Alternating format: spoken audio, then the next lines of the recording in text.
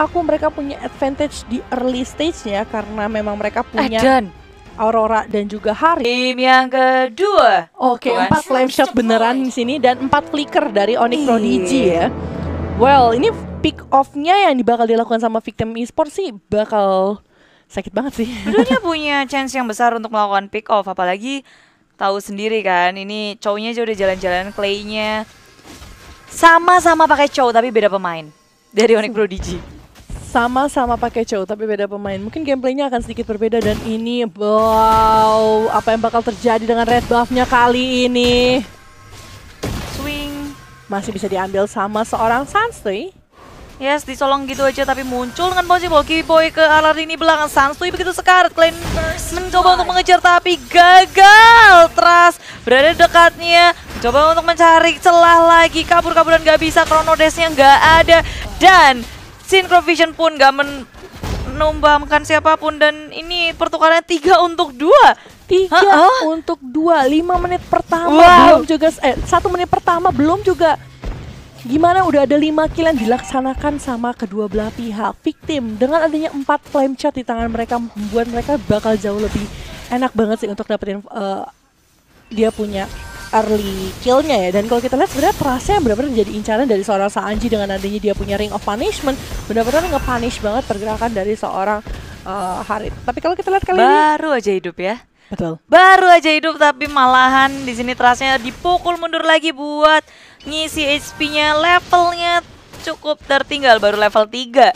Ya, padahal mereka sampai menggunakan 4 flame shot ya loh. Ketiga dua. Hmm, tapi di sisi sana Sanji bakal jadi makanan kah? Masih ada Ring of Punishment masih bisa untuk mundur kali ini. Tidak berhasil di pick off sama seorang Kari. Yap. Ini ada ring of punishment, ada ring of order dari Sanji dan juga Sinting ya. Iya. Ring-ringan. Ring-ringan, ring-ring oh ring-ring. Tapi kita lihat sisi atas kali ini Angsa masih terkena sedikit stun dan menerima sedikit damage dari seorang On Mawe kalau sampai ada flame shotnya dua ditambahkan dengan impact energy impact ini bakal sakit banget. Tapi On Mawe terkena frost di sana. Langsung ada Terrace Revenge. Langsung di flame shot. Masih ada bidi-bidi. Kabur-kaburan. Padahal respon dari tim victim juga cepat banget. Mereka harus bergerak ke top lane tapi ada Glorious Pathway dikeluarkan. Mengejar Tras dan rupanya Divine Judgment mengunci pergerakan dari Tras. Tras menjadi korban tapi ingin dibalas tapi sayangnya yang ditendang Oh. hanyalah Sanji. Sanji tentunya masih sangat kuat. Salah tendangan dari Clay. Iya dari Klein di sini uh, bukan target yang diinginkan seharusnya buat teman-teman dari Onyx Prodigy gitu loh. Hylos yang di Way of Dragon malah jadi gak begitu mengenakan untuk tim uh, Onyx sendiri situ malah yang kena punishment adalah seorang cowok sendiri dan buffnya jangan sampai tercuri langsung membuka feeder ice strike Oh, oh, tapi di arah belakang pula Klein nggak bisa berbuat apa-apa. Walaupun ada WO Dragon, tapi teman-temannya nggak ada yang siap untuk berperang. So, di sini dari The Victim Esport mereka berfokus kepada Turtle, Turtle yang pertama. Oke, ternyata di sini yang pakai item ROM cuman Sanji doang ya. On Mawe dan Sanstuy-nya sama-sama tidak memiliki item ROM dan uh, Sanstuy-nya di sini memakai Carmilla di mid lane. Wow. Wow. Ini Carmilla mid lane sih menarik sekali ya karena memang dia punya regen HP-nya juga tapi di sana Maypan tidak bisa berbuat banyak. Malah di shutdown di situ. Resi keluarkan sudah mengeluarkan zaman force-nya tapi di, begitu sengsara Angsa harus kembali. Kari begitu sekarat Phantom step-nya untung aja masih ada. Masih bisa kabur masih bisa selamat. Dengan bantuan flicker pula tapi Sanji di arah bottom lane. Wave Dragon di pop up tapi masih memiliki Glorious Fataway Oh. Sanji finally berhasil ter-takedown bersamaan dengan damage dari turret. Memberikan cukup impact tentunya. Betul sekali di situ walaupun hampir saja kabur, tapi masih ada Jit Kundo yang menyelamatkan dan mendapatkan kill untuk tim Onyx Prodigy. Tapi di sisi tengah kali ini On Mawe digandengi oleh Rainbow. Kali ini Rainbow yang digandengi oleh On Mawe memberikan uh, benar-benar movement yang bagus banget untuk seorang Granger sehingga akan takut sampai ada yang ngedive ke arah seorang Granger sendiri. Ya betul sekali tapi uhu Peter Frost dikeluarkan dan Sinting menjadi korban angsa begitu sekarat tapi masih begitu brave boy itu dua flame shot langsung ke arah angsa. Itu nggak kena yang depan ya? Kena yang belakang. Iya, tapi tetap aja ya, ini namanya flame shot dua langsung dilemparkan ke arah seorang karya seperti itu ya, karyanya mau bergerak ke arah mana gitu. Modiaro Gak akan bisa gitu, mau Iya. kabur ke mana. nggak bisa. Dan apalagi dia pede banget karena teman-temannya emang ada dekatnya sih. Jadi miskalkulasi sepertinya dari Angsa terlalu overcommit terhadap turret di top lane itu pun mereka nggak ngedapetinnya. Dan Klein mencoba untuk area bottom lane sedangkan teman-teman victim mereka mulai menginvasi jungle milik Onyx Prodigy. Gipai! Oh. Tyrant-nya sudah dikeluarkan Sunstring nggak bergeming pula masih bisa bertahan. Kabur-kaburan aja Mawi sudah mengeluarkan Feather Strike-nya dan finally My Panpur berhasil di take down. Yes, dan sini yang menarik adalah seorang Sinting, seorang Kaja bikin Clock of Destiny. Jadi di sini mau bermain dengan magic damage-nya juga dari seorang Kaja dan kalau kita lihat udah ada di arah tengah kali ini. Launching ball kabur-kaburan tapi diseret pulanya diseret-seret oleh Sinting Divine Judgment yang sangat on point. Mengunci pergerakan dari Onyx Esports kali ini turret pertama di arah mid lane dihancurkan membuat pergerakan dari Onyx pun kayak mau gerak ke mana pun pasti akan kelihatan minion Bener. pun akan masuk pula cara victim esports masuk ke dalam jungle pun bisa jadi bisa dari banyak arah Benar banget. Dan ini memberikan punishment yang sangat besar untuk Onyx Prodigy. Padahal kalau kita lihat secara hero sebenarnya mereka bisa bermain dengan agresif di early. Cuman memang dengan empat flame shot ya dari V oh my god di sisi atas di situ Maipan mau ke mana? Sanji masih bisa untuk kabur dengan dia Glorious punya Fade Away kabur aja dikasih karpet. Karpetnya ungu bukan Iya. karpet merah. Bukan karpet merah tapi Karpet ungu. Dia atau top lane kali ini Victim Esport berfokus terhadap turret. Karena memang bisa dibilang sekarang kayak Sinting aja bikin Clock of Destiny cukup menarik, menambah magic damage Keyboy. Keyboynya terkunci kena stun oleh Sunstui sepertinya dan tak bisa bergerak ke mana-mana. On my way juga punya stun banyak banget yang punya sisi sih. Jadi begitu mudah untuk Victim Esport untuk melakukan pick off. Yes, dan di sini dari tim victim benar-benar ingin bermain objektif, ingin mendapatkan turret demi turret, tapi di sisi bawah Wheel of Dragon dibuka. Sinstingnya dibalas digeser dan Sanya Ah. muncul flame shotnya.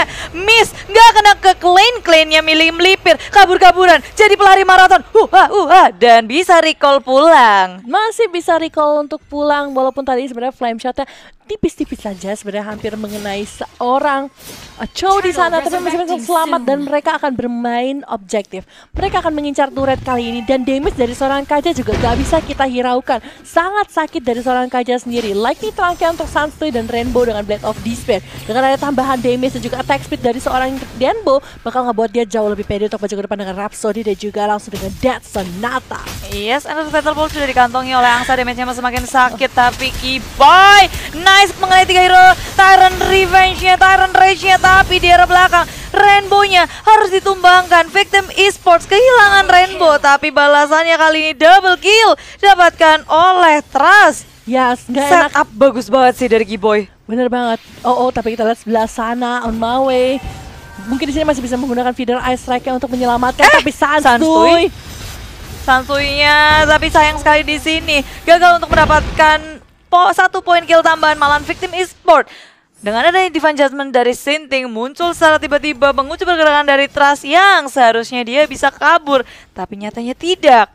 Ya, tapi kalau kita lihat secara line up seperti ini, oh Sinting di sisi atas. Dengan adanya tiga damage yang dimiliki sama victim esport, empat bahkan ya. Ini ngebuat teman-teman Oni dia tuh tahu temen kayak si Sansui, Kaja, On My Way ini gampang banget di shutdown. Karena dari si Sinting aja dia udah bikin karakter Clock of Destiny sama Lightning Trankeon. Jadi lebih gampang untuk di pick off. Makanya kalau misalnya maju ke depan yang hanya seorang Sanji, kalau dia masih bisa gak bisa nahan semua damage yang dimiliki sama Onyx Prodigy itu bakal jadi fatal banget seperti yang terjadi barusan. Betul. Sudah mulai ngeden Onyx Prodigy ingin melakukan pick off pula. Victim Esports sudah bersiap kini di sisi yang berbeda. Klein di bottom lane juga mencari informasi melakukan push pula. Dan teman-teman dari Onyx Prodigy bergerak ke arah bottom lane.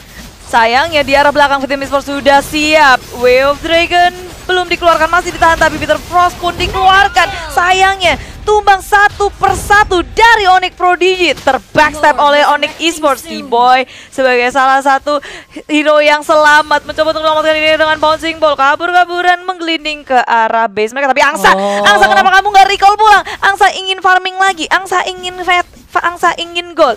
Angsa ingin buff milik victim esports. Dan Angsa memilih rumah yang salah. Angsa mulai jadi potong bebek Angsa langsung masak di kuali juga di situ. Tapi Lord di sini juga udah ada dari tim victim esports. tidak Kita lihat ada berapa lightning yang ditambahkan dengan Clock of Destiny. Oh, Satu, dua, sih. tiga. Ada tiga Clock of Sinting, Destiny. emang sinting dah. Wow, wow, wow. Tapi kita lihat secara gold pun mereka rata. 6.000, hampir 7.000 semua. Ini benar-benar jadi balance banget untuk tim victim Iya, esports. offline kaja, mantap. Luar Wow. biasa memang ini. Sinting, emang sinting ya. Bocah sinting ya. Ya, karena tadi yang kita pikirin adalah biasanya adalah offline Carmilla, tapi kali ini adalah offline Karja dan dia memiliki damage yang sangat besar, apalagi dengan shields yang dia punya adalah shields buat uh, penetrating gitu. loh. Semuanya core ini, Arcane- semuanya core. Arcane boots, iya. Kecuali uh, Hylas ya. Oh, core juga, core juga. Cuman Clock of Destiny doang buat uh, dia punya Ring of Punishment sih. Sisanya Hah, dari tim victim kali ini benar-benar siap banget uh, untuk melakukan war lagi, apalagi dengan ada yang 4 flame shot kali ini. Hmm, Lord. Iya. bergerak ke sisi bawah. Mulai bergerak ke sisi bawah, tapi teman-teman dari Victim Resort berfokus ke arah mid lane lalu top lane-nya juga ada Sinting mencoba untuk nge-push minionnya supaya Onyx Prodigy bingung. Harus ngedefense yang arah top lane, arah mid lane atau bottom lane. Bottom lane-nya nggak akan bisa diselamatkan tentunya. Hanya satu sabetan dari Lord pun menghancurkan turret di arah bottom lane. Maju perlahan tapi pasti ke arah inhibitor milik Onyx Prodigy Dan As- flame shotnya sakit banget di situ Kiboy. tiga flame shot ke arah Angsa Angsa yang benar-benar ditumbangkan lalu terjadilah karpet terjadilah es semuanya terjadi di base milik Onyx Prodigy Dan mereka tidak mau pulang, mau keke untuk mendapatkan keuntungan. Kali ini victim Klein jangan sampai kamu terkena divine judgment dari tim victim esports. Sintingnya lagi benar-benar sinting kali ini, jadi harus berhati-hati.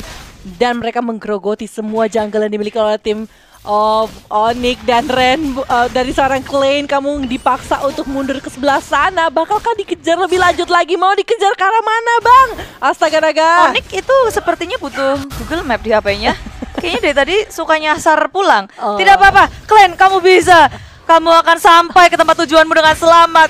Apakah Klen akan mencapai tujuannya? Ternyata tidak teman-teman. Sayang sekali. Dan malah Maipan what happened? Maipannya di mana tumbangnya? Kita terlalu fokus sama Klein. Dan gold pun terus menerus ke arah victim. Terlihat dari grafik yang kita bisa saksikan bersama-sama sampai 10.000 ribu. Ya, Lebih. 10 ribu kali ini perbedaannya 11 ribu perbedaan gold antara victim dan juga Onyx Prodigy. Tapi tadi pertukaran antara Sunstray dan juga Maipan masih lebih worth ke arah tim Onyx Prodigy. Walaupun sebenarnya nggak begitu menguntungkan untuk Onyx-nya gara-gara Clay-nya juga kesehatan di sisi bawah. Cuman seperti yang Clara bilang kayaknya butuh maps dari tim Onyx Prodigy karena Iya. nyasalnya nyasarnya nggak nanggung-nanggung ke arah bisa dari victim esports. Tadi Angsa, sekarang Klein. Iya. Atau mereka mau jadi pengalian isu biar teman-temannya. Tapi kalau Angsa tadi nggak mungkin sih. Kalau Klein mungkin oke teman-teman kejar aku biar teman-teman dari Onyx Prodigy bisa ngebersihin minion. Ditambah tadi mereka dapetin satu kill yakni ke arah Sunstray. Tapi Rebo barusan menyelesaikan Malefic Roar-nya PN physical penetration-nya bakal besar banget apalagi untuk mengambil objektif. Wow! Hah? Berapa flame shot itu dengan adanya on my way satu ternyata dua dua Oke. Mulai lagi Glorious Fataway sudah dikeluarkan Keyboy dalam masalah Keyboy tak bisa bertahan Keyboynya tumbang dan turret pun ikut-ikutan tumbang. Satu persatu tumbang dari Onyx Prodigy. Tersisa tiga hero, tersisa tiga player dari Onyx Prodigy. Tapi Victim Esport mereka tidak peduli Mereka seneng kalau 5 lawan 3 Langsung dikeroyok pula Victim Esport. Mengeroyok turret di arah top lane. Vandalisme terjadi. Perusakan dari base milik Onyx Prodigy pun terjadi. Base-nya akan menjadi sasaran utama bagi Victim Esports. Yes, dan kita lihat di sana. Flame shot ditabrakkan. Death Sonata Feeder Air Strike Killing Spree apa yang terjadi dan kita tidak tahu itu Way of Dragon tapi kita lihat dari seorang Sanji dia tidak peduli dengan teman-teman yang melakukan war kali ini dan Drink of Fun oh my god di sana. Double kill oleh seorang Sinting. wipe out kali ini. Hanya tersisa Anak seorang Ku- Imo. Anak Kufra. Imo ini. Ya, anak Imo ya. Anak Imo mencoba untuk bertahan. Satu dua diseret oleh Divine Judgment. Tapi malahan minionnya lagi sibuk sendiri pula Perang satu sama lain. Dan akhirnya Game kedua pun secure oleh tim Victim Esports Wow. Wow. Permainan yang sangat luar biasa ditunjukkan kali ini sama Victim Esport. Kaja off lane, Carmilla mid lane. Di sini benar-benar Carmilla digunakan untuk membayi. Suka-suka dah Ya Rainbow ya Bener banget, suka-suka mereka aja ya mainnya kayak gimana Heeh. ya. Sans tuh Sans Tuh Tapi- Sinting ketawa-ketawa